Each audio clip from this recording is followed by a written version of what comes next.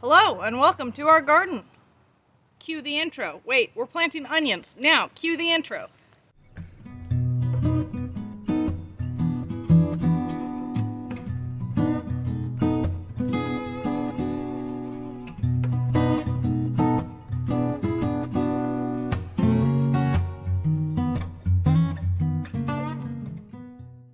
All right, so I'm gonna use this to measure how far apart to put onions. Some people make a spe- oh, this is making me cross-eyed.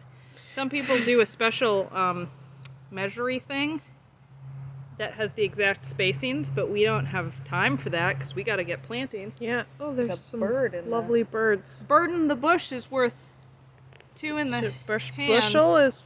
But wait, two birds with one. Okay. All right, so we're gonna go other every other time when we plant, but for now, I'm just gonna mark this whole bed. Are you ready? I'm ready. Set. Let's do it. Go. Go.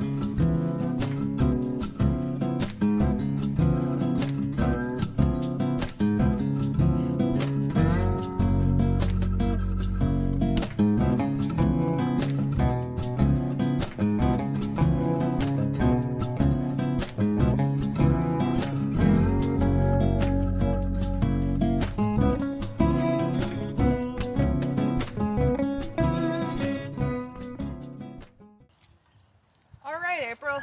Now we're ready to plant. Let's do it. Did you like the tilt of my head? It was kind of, you know, like sassy. Totally. I You do know. that all the time.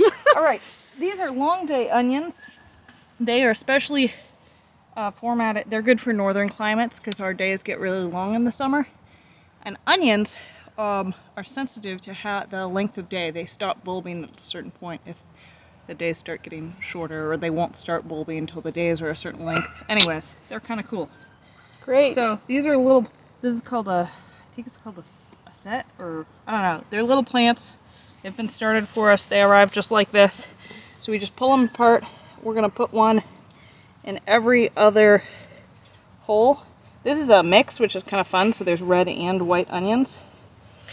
Lauren, I'm gonna set this up somewhere so that. Good luck, April. We forgot the tripod. Yeah.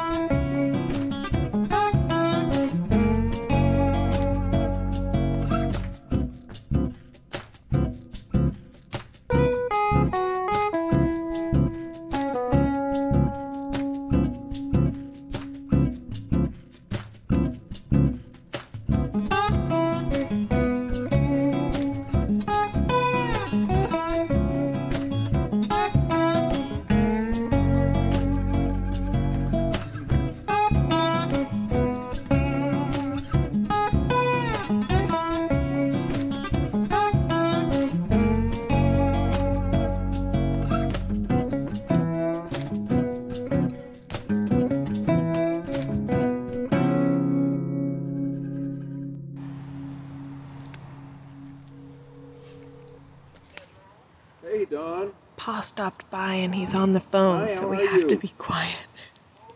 But we're gonna water the garden Good. We Glad planted all the onions. We'll see you next time.